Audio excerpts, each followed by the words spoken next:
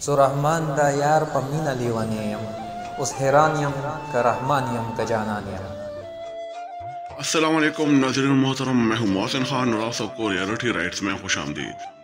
कहा जाता है कि दुनिया भर में जहाँ पर भी पश्तून होंगे, वो रहमान बाबा के नाम से ज़रूर वाकिफ़ होंगे। नहीं तो इन्होंने रहमान बाबा का कोई ना कोई शेर तो ज़रूर ही सुना होगा। आज के हमारे इस वीडियो में हम रहमान बाबा के मज़ार पर हाजिरी देंगे और उनके बारे में मुकम्मल मालूम फराम करेंगे। लिहाजा हमारे साथ रहिएगा।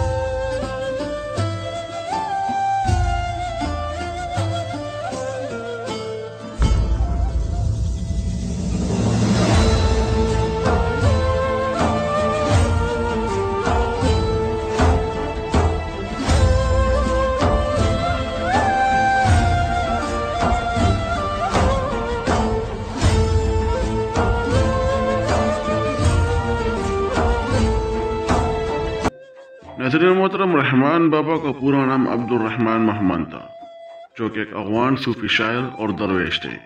अब सूबह खैबर पख्तूनख्वा के शहर पिशावर के एक इलाके बहादुर कली खजर खानी में सोलह सौ बत्तीस, यानी सिक्सटीन थर्टी टू में पैदा हुए।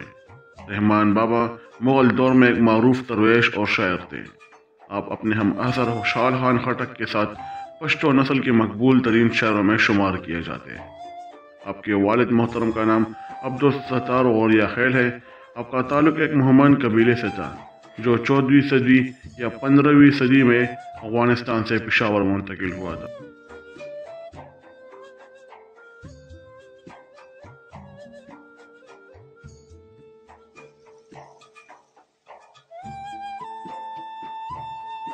नज़र मोहतरम रहमान बाबा के ख़ानदानी पस मंज़र के बारे में राय मुनकसम है।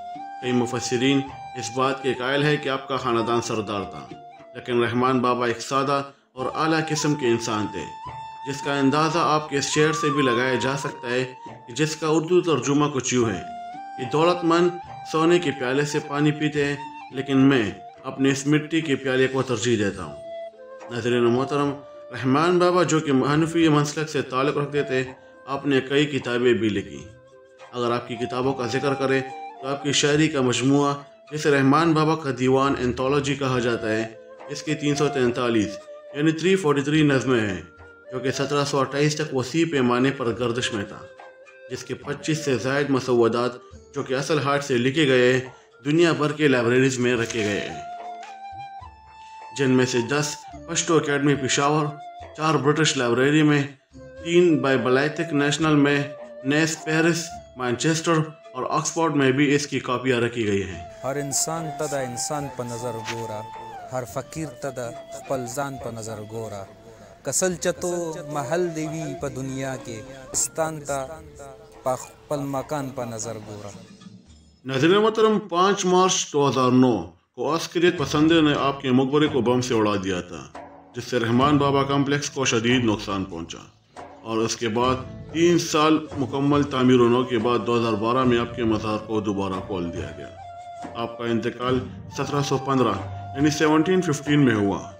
हर साल अप्रैल के महीने में आपकी बरसी मनाने के लिए एक बड़ा इज्तम होता है। नज़र मोहतरम, उम्मीद करते हैं कि आपको वीडियो पसंद आई होगी। अगर आप में से कोई रहमान बाबा के मज़ार पर नहीं गए तो वहाँ का ज़रूर एक बार चक्कर लगाए। वीडियो पसंद आने की सूरत में इसे लाइक और शेयर ज़रूर करें।